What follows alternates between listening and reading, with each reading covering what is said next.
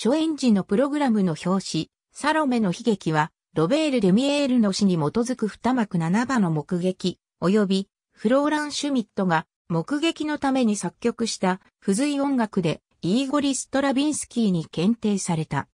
バレエリュスによってバレエ化され、音楽は管弦楽組曲として単独でも演奏される。初演でサロメを踊ったロイフラー目撃、サロメの悲劇は1907年11月にパリのテアトルでザールにおいてモダンダンスの先駆者の一人、ロイフラー主演、フローラン・シュミットの音楽、デジレー・ミール・アンゲル・ブレシュト式により初演された。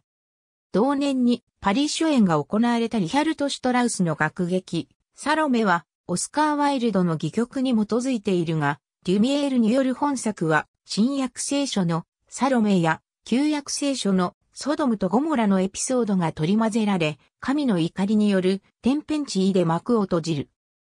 黙劇の付随音楽としての本作品は20名の小オーケストラのために書かれていたが、その後、バレエリュスの主宰者、セルゲー・ディアギレフの提案により、大編成のバレエ音楽に編曲された。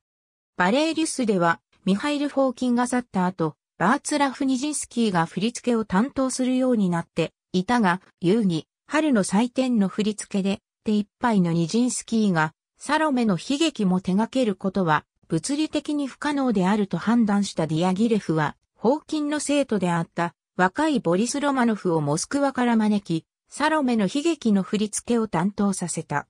バレエ版は、春の祭典初演の2週間後、1913年6月12日にシャンゼリゼ劇場におけるバレーリュスのパリ公演で、タマーラ・カルサビナ主演、ピエール・モントゥーの指揮、セルゲイ・スレーキンによるビアズレーフデザインの美術、衣装によって初演された。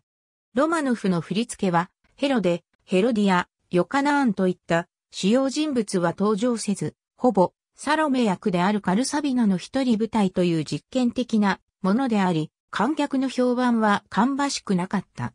管弦楽組曲は以下の5曲で構成され、演奏時間は約15分。序曲と真珠の踊りが第1部、それ以降が第2部とされる。序曲真珠の踊り会場の誘惑稲妻の踊り恐怖の踊り管弦楽組曲は1911年1月、ガブリエル・ピエルネ式コンセール・コロンヌによって初演された。鈴木明、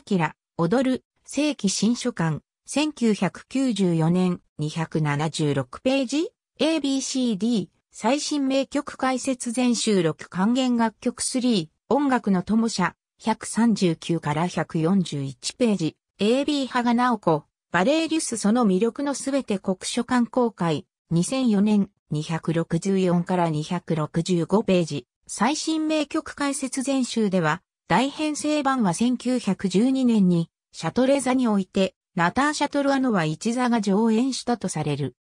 富士の雪を春の祭典ロシアバレエ団の人々小文社、1982年15ページ、富士の雪を前景書221ページ、カルサビナ自身によれば、サロメ役のためにカルサビナが付けまつげを考案したとされる。